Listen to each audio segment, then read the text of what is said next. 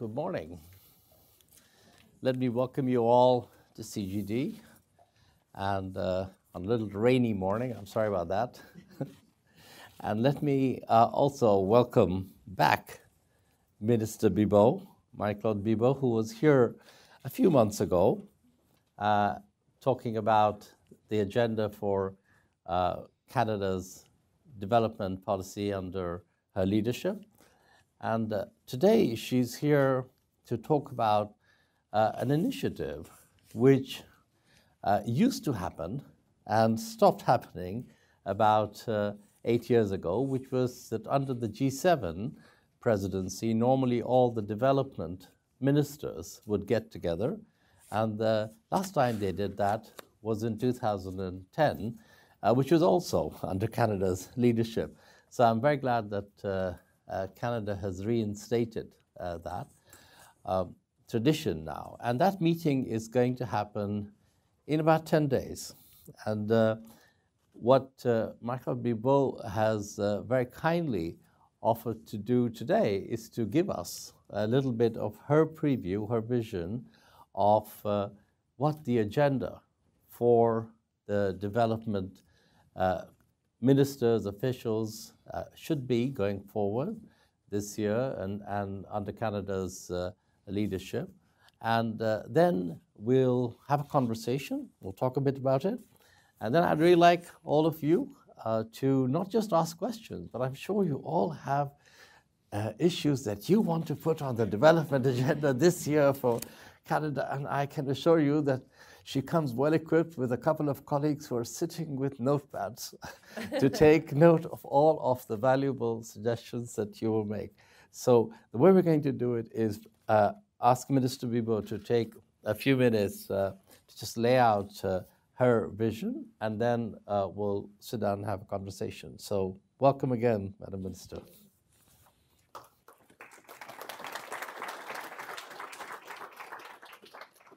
Thank you so much. Ladies and gentlemen, I'm grateful for this opportunity to speak to you once again. As you can imagine, excitement about the G7 is building right now in Canada. And since, since our government highly values the work and perspectives of the Center for Global Development, I think that our discussion today is timely. We are now three years into Agenda 2030. We need fresh thinking and an accelerated approach to step up and achieve the Sustainable Development Goals. Canada has clearly positioned itself as a feminist government over the last two years. We have insisted on SDG 5, gender equality, as the cornerstone to, eradicate poverty. We've put women and girls at the center of our feminist international assistance policy. We've put forward progressive trade and foreign policies that aim to tear down barriers to women's empowerment.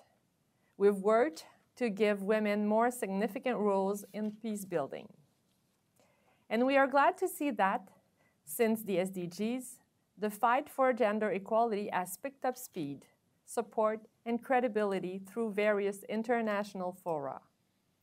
Along the way, the fight to end harassment, sexual exploitation, and abuse of power has gained widespread acceptance through social movements like hashtag MeToo and hashtag, hashtag Time's Up. But we need to remember one undeniable fact about women empowerment. It needs to start early. And it needs to start with those who are the most excluded. Adolescent girls are among, among the most excluded people on the planet. And as a result, their needs are largely unmet. We know how, how crucial the teenage years are. What happens to a girl at that age can fundamentally change the course of her life. And unfortunately, evidence shows that adolescent girls, especially those living in poor and unstable regions, face systemic challenges to realizing their human rights. In many societies, they still have more limited access to education and healthcare than boys.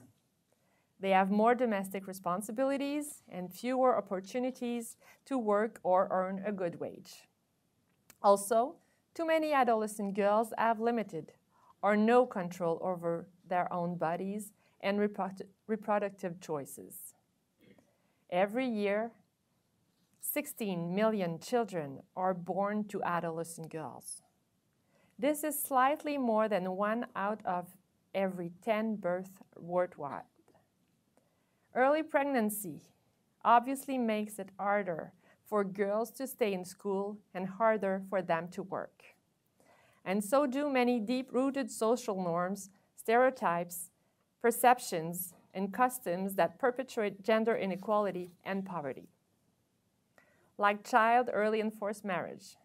Each year, as a result of this practice, 12 million girls are married before the age of 18. Not to mention discriminatory laws that limit women and girls' social and economic freedom in more than 150 countries around the world. In fact, adolescent girls face discrimination because of age and gender, making them bear the brunt of poverty and violence. This is especially true in countries affected by fragility and conflict. As you know, women and girls who live in such contexts face increased risks of gross humanitarian rights violations and abuses, especially sexual and gender based violence with devastating consequences for adolescent girls. Right now, according to the World Bank, some 2 billion people, or nearly 30% of the world's population, live in regions affected by fragility and conflict. Among them are an unprecedented number of young people under 30. And according to the, the World Health Organization, there are 26 million women and girls of reproductive age living in emergency situations.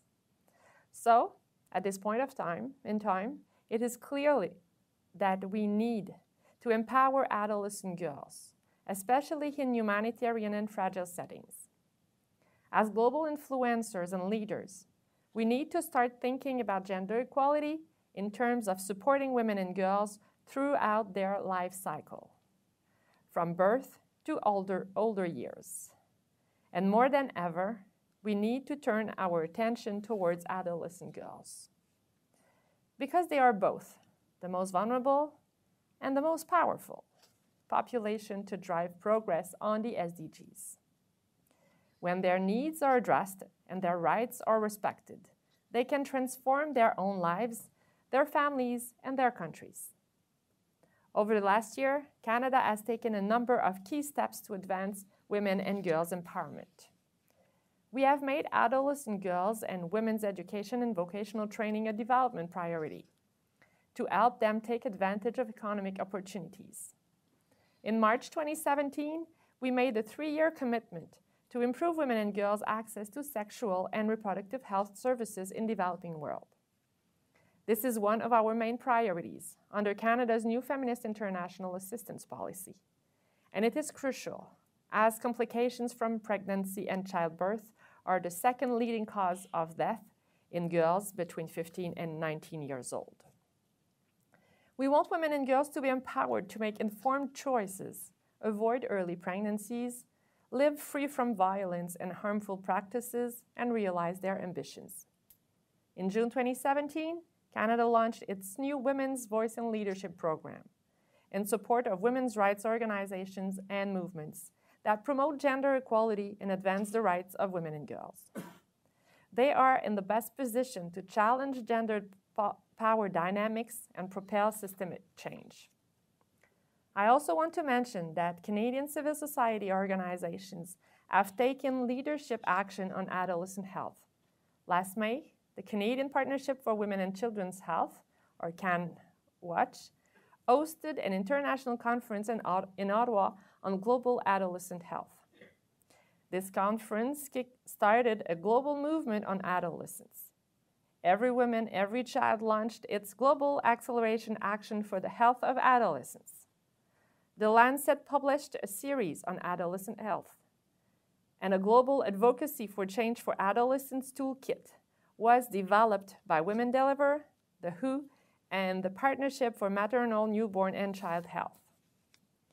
As part of Canada's effort to support gender equality, we have also made our humanitarian assistance more gender responsive. As I mentioned earlier, women and girls in humanitarian settings clearly need adequate health services and psychosocial support, in addition to, wood, in addition to water, food, and shelter.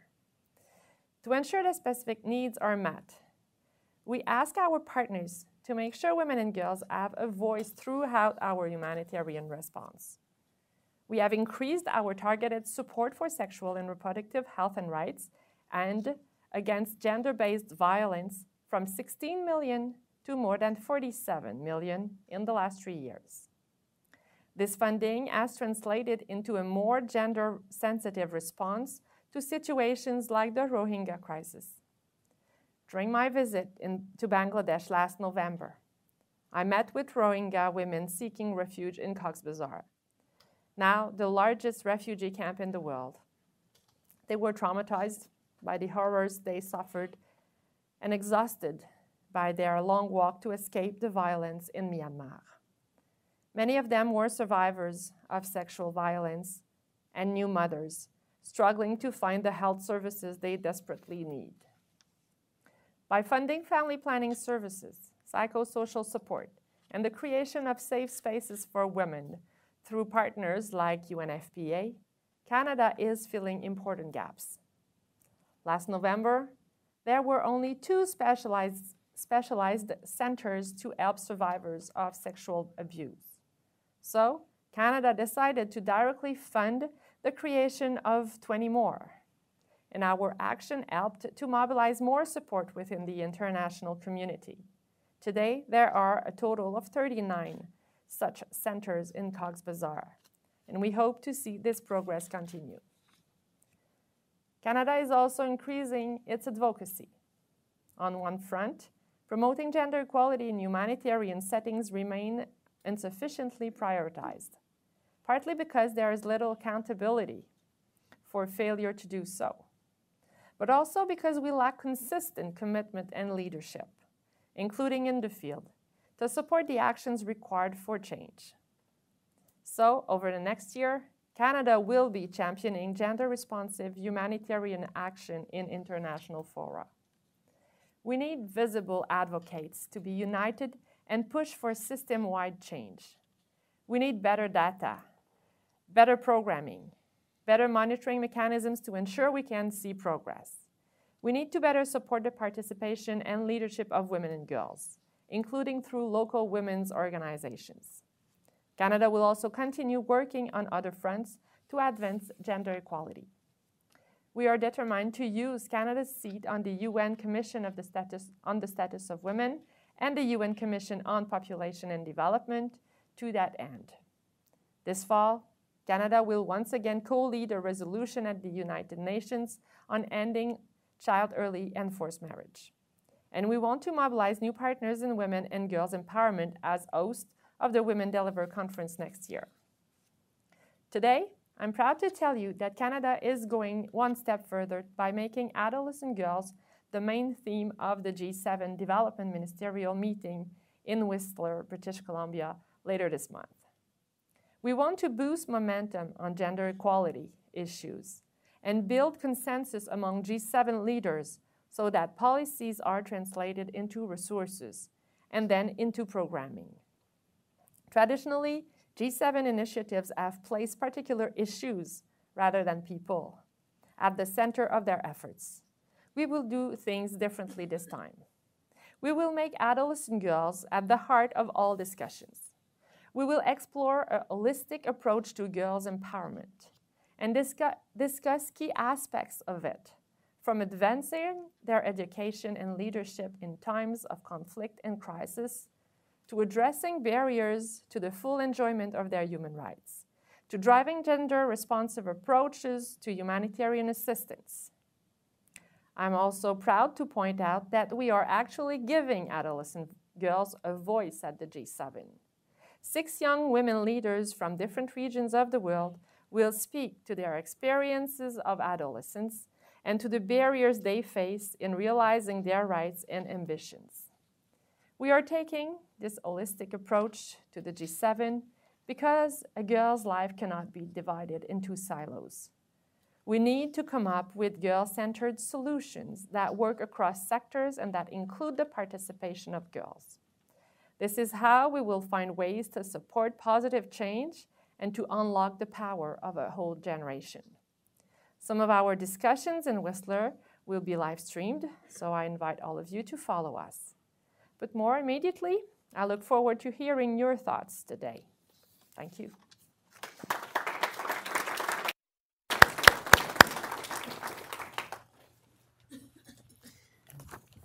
Well, thank you very much, uh, Minister Bibeau, for giving us your very clear vision now of what it is that you want to promote during the G7 development ministers meeting. And you talked about this kind of holistic approach to adolescent girls as being the center around that. I guess my first thought was you've no doubt in the run up to this meeting you and your colleagues have been talking to all the other uh, G7 ministers and, and their uh, colleagues and officials. So, how much of a resonance are you getting on this being the centerpiece of the agenda and also in terms of how you think about the, the set of issues? Um, I'll have more to say early June. Yes. but for now, no, I think when we talk about women empowerment with the G7 countries, mm. uh, we, we find uh, a lot of um, adhesion uh, ar- around this subject. We might be looking at it from different perspectives, and maybe uh, some would be more interested in education, others in, as Canada, in sexual and reproductive health services or so we might have complement, complementary uh, views on the subject but the idea is to say okay stop looking at the, the at girls and women in silos and sector and we should be more um,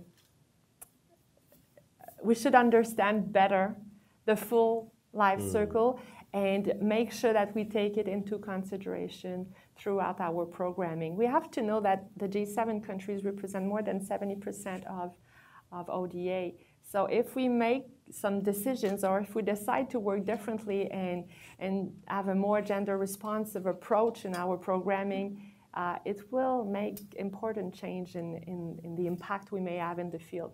So this, this is the start of the discussion. Well, I remember the last time that you had the, when you chaired the, the G7 uh, in Muskoka, Canada made a commitment to uh, maternal and child health, mm-hmm. which was really quite exceptional. I think, if I recall right, it was $5 billion in additional funding at the 3. time. 3.5. Yeah. And that was a big number. It's a big legacy. So, early June, are you going to give us another? uh, another initiative that will be sort of matching that? well, um, the uh, MNCH, the Maternal and mm. Newborn Child uh, Health Initiative of the previous government, obviously we continue uh, to, to uh, this initiative because it wasn't ended, but we, we enlarged it with our uh, sexual and reproductive health um, commitment. So we, we took the MNCH, which was for five years, only two, uh, already two years were gone. So we added an additional 650 million to make sure that we were not focusing only on safe delivery, but we were really offering throughout through our partners the full range of sexual and reproductive health services from sexual education to boys and girls, family planning, access to contraception, and even safe and uh, safe abortion where, where it's legal. So this is one important commitment we already made. For the G7, um, the discussion we have now um, is more, I mean, we don't want to look only at numbers, uh, obviously, and but we feel that uh, there might be some significant uh, commitment around girls and most probably around education, edu girls' education. I mean, as you say, numbers are only one part of it. It's kind of how you spend it. Mm-hmm. Having said that, I mean, you announced, I think, $2 billion uh, in increase in the international assistance mm-hmm. envelope, but it's sort of spread over five years. It kind of barely keeps up with inflation. So, I mean, part of the leadership, I guess, that Canada is now sort of very much on the international development scene will be to see over time how Canada can actually also provide additional support, recognizing like you, like every other G7 country now, faces many different constraints and, and pressures. So I think you'll find in this room lots of people that will be rooting for you and hoping that uh, you know over the next years to come we'll be able to see that. Um, can I just come back a bit to the other countries in, in the following sense?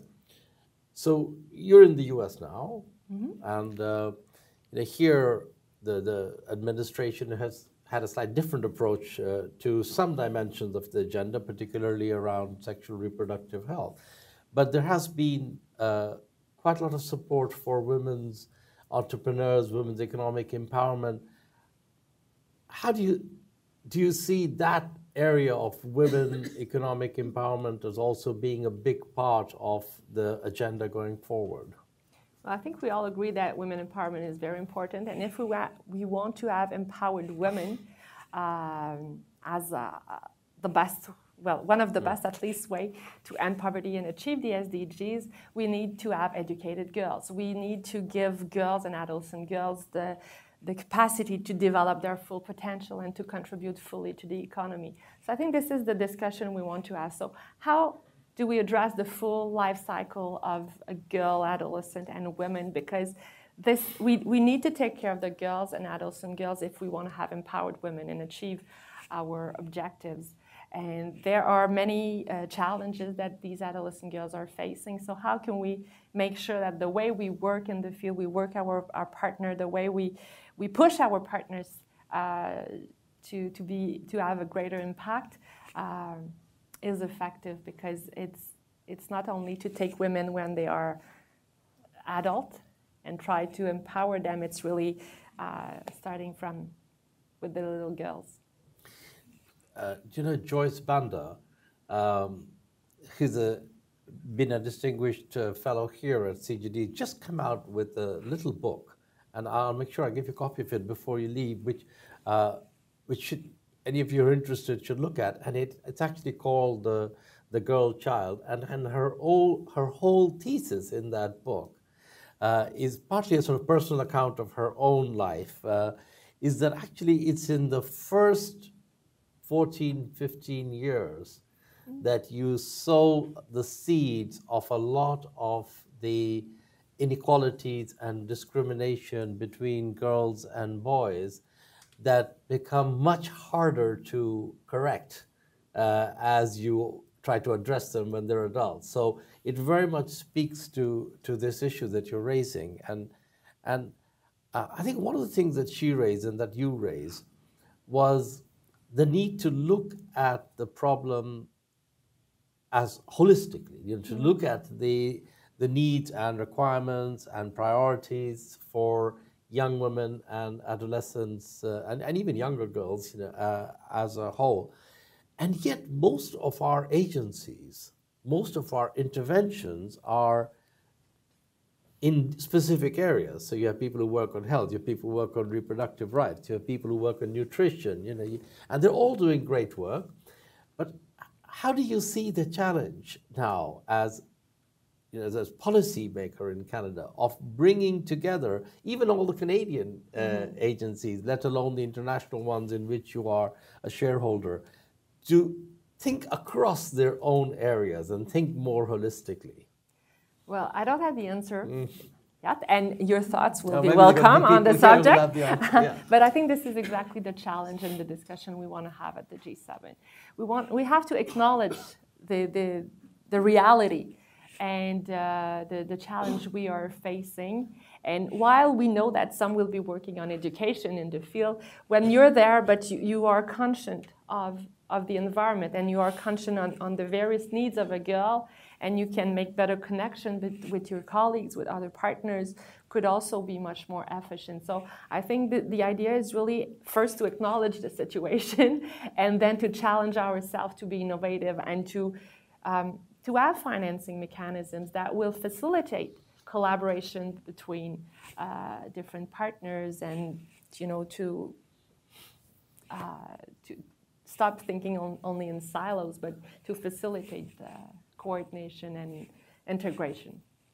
I'm going to open it up and ask uh, people for their views, but I just want to ask one other uh, point sure. I want to raise with you before, which is you mentioned before we uh, came to this that you were also uh, part of the meeting was going to be a joint meeting mm-hmm. with the G7 finance ministers. And, and I think that also is a great uh, idea because in many countries, the development agenda is sort of partly handled by the development ministers and, and some of the institutions that deal with development kind of work through the, the finance ministries. And, and uh, many people in this room who've worked in different uh, institutions will, will remember that it's not always the case that you could get a common approach from a country across the different elements. So, on the part that you're going to be discussing with finance ministers together, one dimension will no doubt be what we've just been talking about.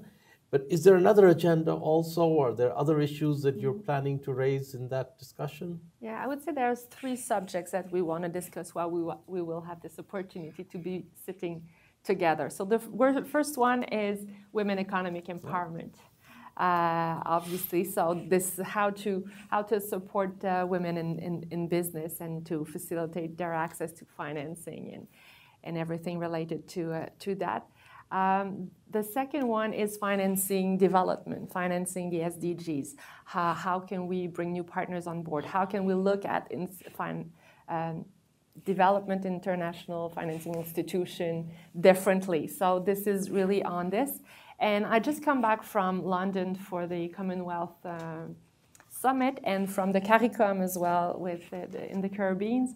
And uh, I have to, uh, um, I made a promise, and this promise was to make sure that we will have the discussion on small island states and all the challenges they face to finance their particular uh, vulnerable situation uh, when we think about natural disasters uh, relation with climate change, um, access to concession, uh, concessional financing, um, you know, acknowledging the fact that they are particular. When we look at our usual way of considering their eligibility to different financing mechanism based on GDP, uh, while we know that a hurricane can just um, destroy three times their GDP uh, in, in overnight, so how can we look at their particular situation differently in terms of financing? And not only in financing, but also um, everything related to be more resilient and uh, how to, to deal with reconstruct, reconstruction as well. So we're, we're, we're still, you know, kind of reeling. Many of those countries are still reeling from the damage and destruction from last year's hurricane season. And and I think you were saying that you know we're beginning to see the countdown yeah. to the next uh, hurricane season, and I think that the, the I, I don't think that the international community has yet found a solution to deal with the exceptional but sporadic needs that come for with this uh, natural disasters for these countries and and I think this is a conversation that if you can advance that and particularly now using more market mechanisms also mm. for insurance, which uh, is uh, increasingly something that we probably didn't think about 10 years ago, but today, you know, you might be able to, to do, and, and some agencies are doing it. So I think hats off to you and, and more power for that agenda as you push mm-hmm. that. Uh, okay, um, I know there are people with many different interests here. So we're going to take maybe three or four questions each time and then come back to you. That's all right? Our, our, our, comments or oh comments yes exactly. I don't pretend I will Please, be able to answer so, all your questions. So uh, my colleague uh, who used to uh, handle these for us always used to say that please make sure that your intervention ends with a question mark. but, but, we don't have to do that today. So so if you have a comment, but as long as you can keep it short so that we can get more people. So why there are some mics here. So I'm going to start with this lady here, here, and then here, and then I'll work back. Thank you both. Thank you, Minister. If you could identify yourself, that'd yes, great. my name is Natalie Eberts, and I'm with the Action Partnership. Uh, and we have one of our partners is Results Canada, actually, um, who I think works with you all. Um, my question is that we understand that, as you mentioned, Canada is leading on education for girls and complex emergencies, and also, um, as you mentioned, like sexual trauma centers that centers that deal with that. And so we're commending that leadership and also wondering how um, global health and nutrition, as a key uh, supporter of the feminist um, international uh, assistance agenda, how that um, might also advance the health and nutrition. So uh, not just the education and emergencies, but also the health and nutrition part and how that comes into the feminist agenda. Thank you. Thank you. So health and nutrition, this lady over here. Great. Well, I'm um, Elizabeth Silva with the Asia Foundation, and I just want to start out by thanking you so much for your for your remarks. Um, Canada's um, feminist international assistance policy is really inspiring. Um, and for those of us who work in gender equality it's just it's a model that we hope other donor countries will follow um, suit. At the asia foundation i work um, on advancing gender equality both programmatically um, but also institutionally making sure that we're really advancing um, the organizational culture and capacity of our staff um, to be able to advance women's empowerment and gender equality. And so i'm wondering if you can can speak a little bit about what Global Affairs Canada is doing in that regard, um, especially um, in light of the Me Too movement um, and um, and then I have one other quick question. I the focus on adolescent girls is also really expire, inspiring and exciting. Um, I've been a girls' rights advocate for many years, and um, as I know that you're you're very well aware, girls are not um, advancing in a bubble. They are very much mm-hmm. influenced by their surroundings and um, and by boys, adolescent boys especially. And so I'm wondering, um, you know, if there's any specific plans for um, you know positive masculinities or programming around um, adolescent boy development as well. Thank you very much. And I think this gentleman over here. Thank you so much, Mark Engman, UNICEF USA. We work very closely with our colleagues at UNICEF Canada. Uh, just to focus on education again for a second, it's you know education is truly a life-saving intervention for children in crises, particularly girls. And one of the problems has been that in the humanitarian world, it has been one of the least supported sectors. So, beyond just a, a sort of a G7 commitment, how do you address this, this overall lack of humanitarian funding for education? Okay, maybe we'll take those three and then. Yes. uh, okay, uh, how the, the health and nutrition. Um, when we look at our feminist policy, we have six uh, different um, area of priorities, and one we call uh, humanitarian dignity. Human, well, human dignity. Human. Thank you. Human dignity, and it includes humanitarian assistance, but as well as the, the, the, the pillars of development, education, health, and, and nutrition. So this is very important. And I would say that uh, also when we think about um, the agriculture is, is one sector that goes everywhere almost. Uh, it has a direct link with, uh, with good nutrition. It has a direct link with, um, uh, with economic development, women empowerment. So this is a, we, we have a lot of support to uh, women in the agricultural sector. And we can see that this feminist approach really makes a difference when we support women entrepreneurs, women in the agricultural sector, uh, differently. So directly providing better food and more more food and then more revenues.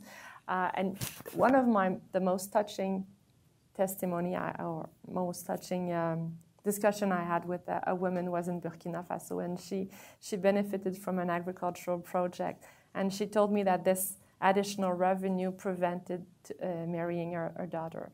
So that was my, my best I mean, the reason of this for behind this feminist policy, it gave uh, a face and it gave really uh, the the evidence, uh, not evidence in terms of very statistical, uh, uh, but it was very important to me. So, health and nutrition uh, remain basic pillars of development, but the way we do it, the way we ask our partners to consult women locally to make sure that women are part of the decisions that brings to, to, to the project and the way that we implement projects, taking into consideration that women and girls are not only beneficiaries, but they have to be agents of change, is really the way that we, we integrate everything related to nutrition in, in, the, in the feminist policy.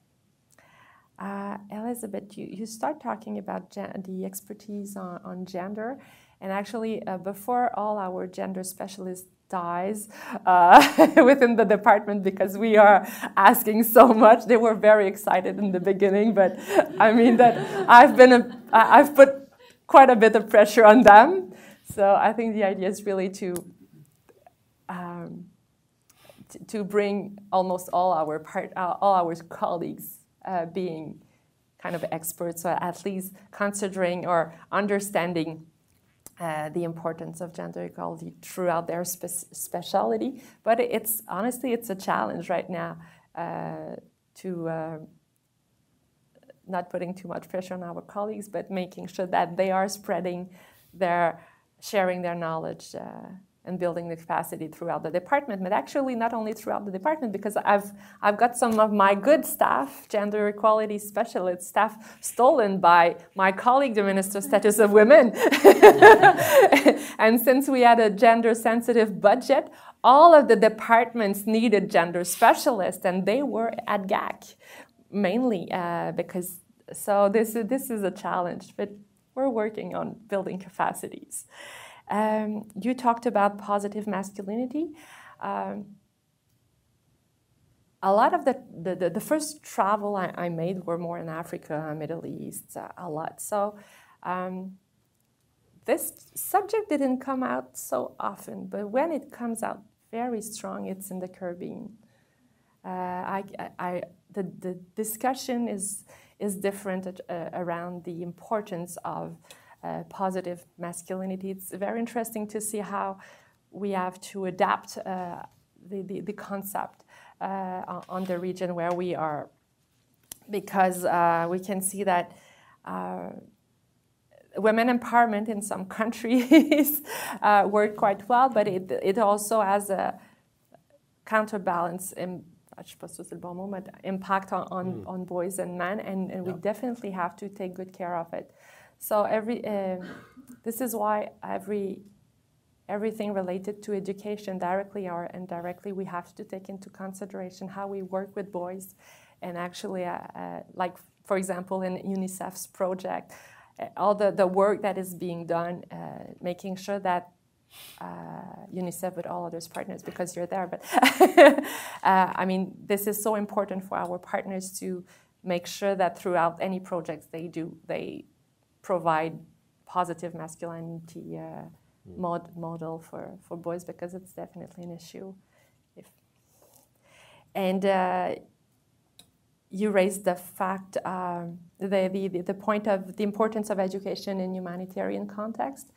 And obviously, I, the, when you talk about it, the first thing I thought of is the, uh, the initiatives uh, No Lost Generation, because uh, well, I, I, was in Jordan twice, in Iraq and Lebanon as well, and, and I've seen the importance of, of this initiative and the, uh, the importance of providing education to, uh, to children in, in these contexts. So, yes, definitely putting, we need to invest more because it's a matter of uh, developing their capacity to, to, to rebuild their country or to have a positive uh, positive learning, positive education, but it's also a matter of stability because we all know that when boys are in the street instead of school, they, they, they have chances to be attracted by, uh, by extremists or any kind of armed groups. So this is the safer place for boys to be is definitely in school, and same for girls. If we want to avoid child early forced marriages,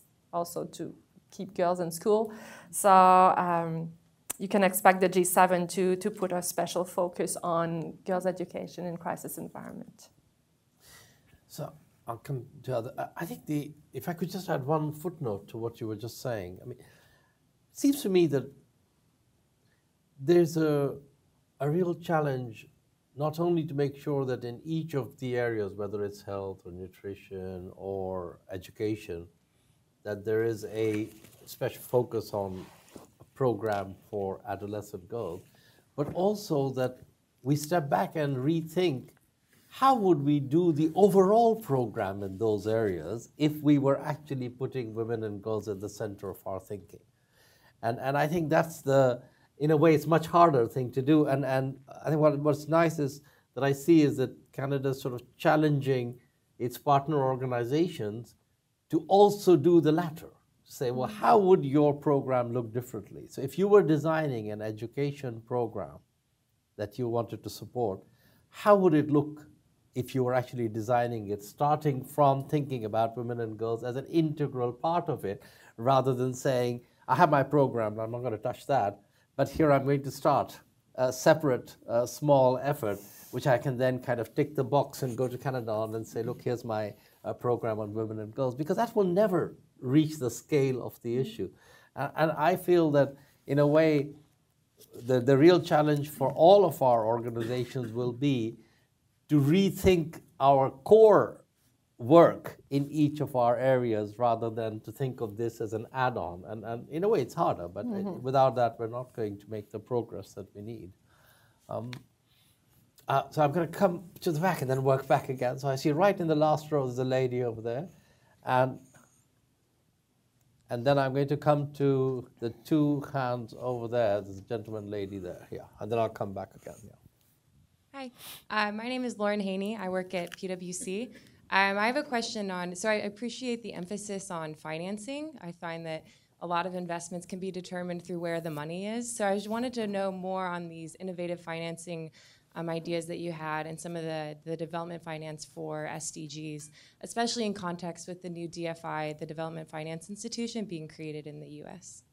Thank you. Yeah. And then there's a gentleman there and then a lady. Yeah. Uh, thank you. Your comments are very well received in that. Uh, oh, I'm sorry. My name is Paul Spurs. I'm, I'm director of an organization called Vision ARIA Network. Uh, I completely agree that women and girls, adolescent girls, are the most vulnerable and also the most powerful to engage in change making. Um, after asking them myself uh, and through our programs, uh, I see that they're not just interested in issues that affect them. And in the spirit of reducing silos, and also understanding that SDG 5 gender is a cornerstone of other sustainable development goals. I'm wondering if there's an appetite or any focus on how to engage girls in problem solving, not just in issues for them.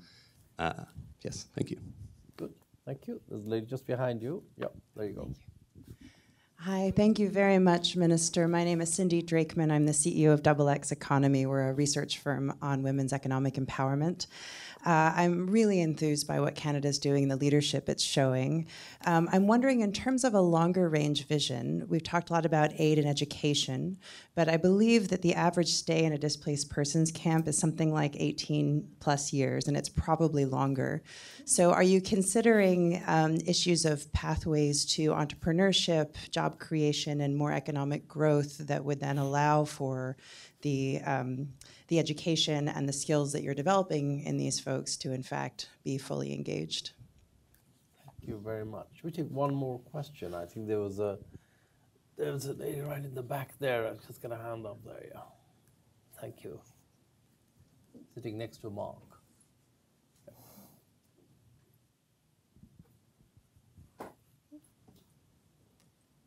Hi, my name is Marian Body, and I work for Emerging Public Leaders. We run a civil service leadership program in Africa. Thank you for your remarks today. I really enjoyed hearing about um, Canada's feminist international policy. My question today is about Canada's um, investment in civil service capacity and building governance capacity across different governments or amongst youth leaders. Um, our program, we believe that public service is at the base of delivery of supporting education efforts, health, and we want to know what Canada is working to improve on this. Okay, all right, four big issues. Okay, innovative financing. Um, well, we're still on the uh, trying to work to be more innovative, but I would say that one great example, recent good example is the We-Fi initiative uh, that uh, we, we participated with the, with the World Bank. So the idea was in the beginning to get $200 million from uh, contributing government uh, to make accessible to women entrepreneurs in developing countries and then reach uh, a billion dollar investment in, in developing countries. So Canada was amongst the first to contribute to this fund with uh, $20 million, but it's already uh, going very, very well. So we were supposed to, our objective was 200 million from donor government. We are at 340 the last time I looked at it. And only the first call for proposal, um, I'm looking at Christine, I think it's 1.6 billion uh, already uh, in terms of investment in uh, in women-run businesses in developing countries. So this is a good initiative where we can use our uh, public money to, to leverage private money and uh, support women entrepreneurs in developing countries. So I'm proud of this one and really look forward to, for the coming um, call for proposal. You talked about the DFI. Uh, in Canada, we, it's, it's new that our DFI that we call FinDev, and if I want to summarize the, uh, the mandate or we, we gave them, uh, they really have to uh, pay special attention to women economic empowerment, guess why? and uh, also to everything related to climate change. So I think when we um, give as a mandate to our in financing institution, uh, we, we, we include them in their terms of reference. The fact that they have to take into consideration the specific needs, and, and not only the specific needs, but the, to recognize the, the, power, the, the way that women can be powerful and can you know, uh, lead business and, and, and create wealth in a country is also uh, something we can do in, in our terms of reference with financing institutions. So the FinDev in Canada is designed this way. How to engage girls in um, problem solving. Trying to read. Um, I think this is something that we have to, to once again, um, I think I said it earlier, but what we are asking our partners is if they want to get money from Canada, they have to demonstrate that they consulted women locally, that they were part of the decision making, and then seen as uh, agent of change, not only as beneficiaries. And we strongly believe that if we empower local women's organization, if we work with local women's organization, uh, it's also a good way to um, to to to have to, to develop their capacity to build their capacity then to be able to to sit on this ta- table where the decisions are made and in in um, peace processes as well so this is why we invested. You might have heard about our Women Voice and Leadership Initiative, $150 million over five years in more or less 30 countries to support local women's organizations. So the idea is really to build local capacities. So they, they know how to deal with their governments. They know how to deal with local media. They, they know how to get money from different uh, donors, how to, how to report according to the, uh, the best practices so they can get this money and also to provide them direct funds so they can, um, they can realize uh, concrete projects in the field within their communities because they are the best place to, to understand it and to make changes uh, in their environment. Um, how to, knowing that the, the the stay in a refugee camp might be but 17 or 18 years. Um, so absolutely, we have to work on how do we give it a sense to their life because sometimes we're talking about generation in a camp. So it's also, I think, a matter of, of working with the local government, how to integrate refugees in the local economy. Uh, I think it's also a challenge. So when we when we can get um, once again Jordan is an example for me then and I have to look at UNICEF mm. when I think about Jordan. Uh, having children in the same school as the local kids I think it's also a good way to to integrate the two communities the host community and the refugee community together. I think it's a, it's an asset for the future. Um, and I, I, also know that many of our humanitarian partners are trying to um, to find different ways to support the, the refugees uh, and providing cash uh, for work so they can contribute to the local economy, so they can they have little business on the camp. So we have to think about different ways of getting closer to a, a normal life.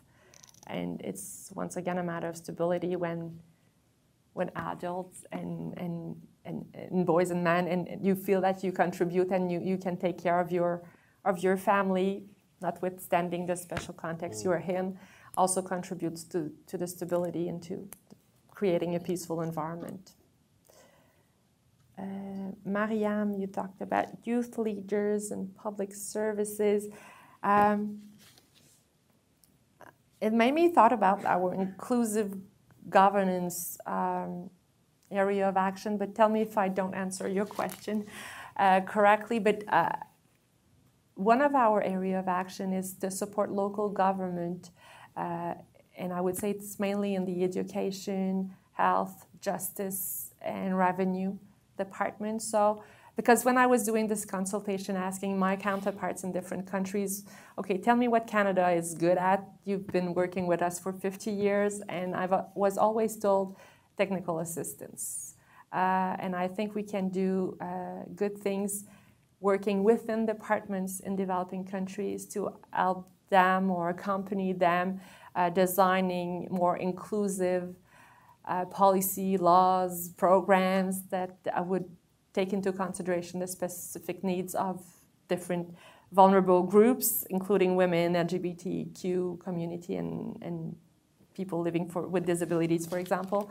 Um, so this is something that we want to do to strengthen local public services. Um, for youth, well, obviously, um, we strongly believe that we, we have to empower youth, and, and when, we, when we want to bring the G7 around the particular challenges faced by adolescent girls, it's also an example of, of the importance of uh, taking their particular, looking at them, once again, not as victims or vulnerable people, but looking at them as agents of change, so investing in them. Thank you very much. So I was just going to say that I think the issue that you raised about the refugees being in now 20, well, it's 18 or 22, depending on which group you're looking at, years that they're. So essentially, the, the whole set of needs associated with them changes. It becomes much more kind of development, integration yeah. agenda. And, and part of that clearly is education, part of it is economic empowerment. And the Jordan example that you gave is a nice one because we had a conversation here a few weeks ago with Imad Fakhoury, uh, mm-hmm. who's the Minister of Planning in Jordan, and uh, a few other uh, people talking about the experience of Jordan in implementing these country compacts that have come about, uh, which are a way for both the donor international community and the countries to kind of make mutual commitments on supporting uh, the integration of the uh, refugees, displaced people, in ways that are more than a kind of short-term humanitarian response. And, and now you said you're just back from Cox's Bazar and, and, Bangladesh, and, and with the Rohingya population there, that's clearly going to be a similar challenge that how do we develop a country compact? And I wonder whether, in a way, one role Canada can play in all of these conversations, um, whether it's on the country compacts and humanitarian assistance, or whether it's in looking at the replenishments that are coming up for a lot of concessional financing windows next year, whether it's IDA or, or others, is to keep pushing that agenda of putting women and girls at the center of those or at, in that conversation and, and is that something that between you and the finance ministry you see as part of your international uh, agenda as well to kind of make sure that in all of those conversations canada is kind of pushing that? Definitely. Yeah. when we when we work in uh, with bilateral projects directly with different partners it's obvious that we we can be uh, stronger on our on the prerequisite to get canadian bilateral money but when we contribute to a, a more global or multilateral fund, Then we, we count on our Canadian representation on boards uh, to some recognize themselves here. Uh, we count on them to push push uh, this agenda further and make sure that it is um, being more than considered, but it is integrated in any type of uh, analysis grid Yes. To, to support projects. Thank you. I know there are many people who have questions, but I'm also being told by Sarah that we have run out of time because the minister has other commitments. So I want to uh, bring this to a close. I want to thank you, uh, Minister Bibeau, for again taking the time to, to share with us your vision and for engaging with all of us in, in this conversation. I want to thank all of you for coming and for raising your perspective. So thank you very much.